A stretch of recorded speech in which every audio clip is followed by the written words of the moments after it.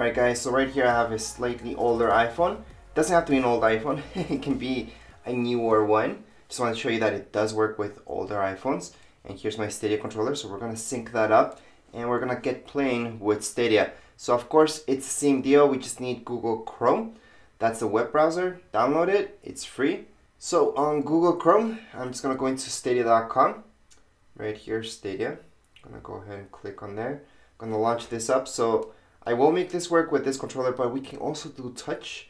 I'm not 100% sure why touch doesn't work on an iPad. It should work if it works on an iPhone, but maybe that's something that they're working on. Anyways, we're gonna get started with Doom, for example. Now, again, I don't need to have a subscription. I can just play whatever games I own. And I'm gonna go ahead and sync up my controller.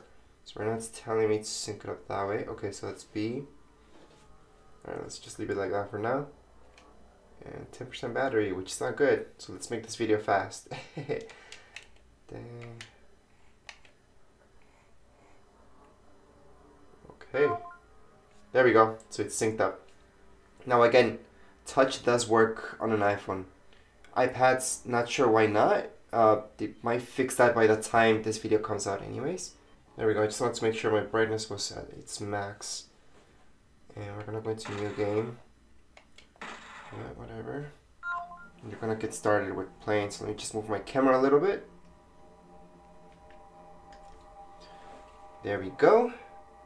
And let's move around.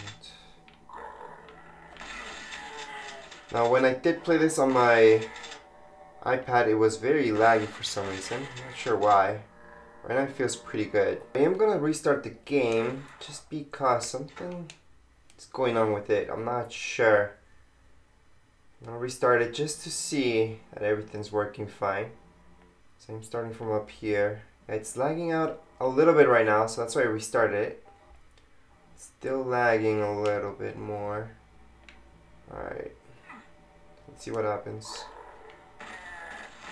Did run pretty smooth the first time, Right now it's also just fine.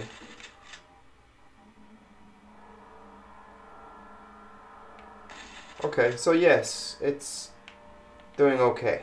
Anyways, just want to show you guys that it does actually work. And uh, it's not perfect. It does lag out, that's why I have to restart it just to make sure. And that's it for this video. So that's how you guys can play Stadia right here on your iPhone or your iPad. Hopefully Apple will get the app working on iPhone or iPad. As long as they update Google Chrome, they should work a little bit better, a bit more smooth. But anyways, that would be it for this video. That's how you guys can play Stadia right now here on your iPhone. And make sure you guys have enough battery in order to play, not like me. And that's it for this video. If you guys have any questions, comments, you guys can write down here in the comments area. Don't forget to subscribe and rate. Thank you.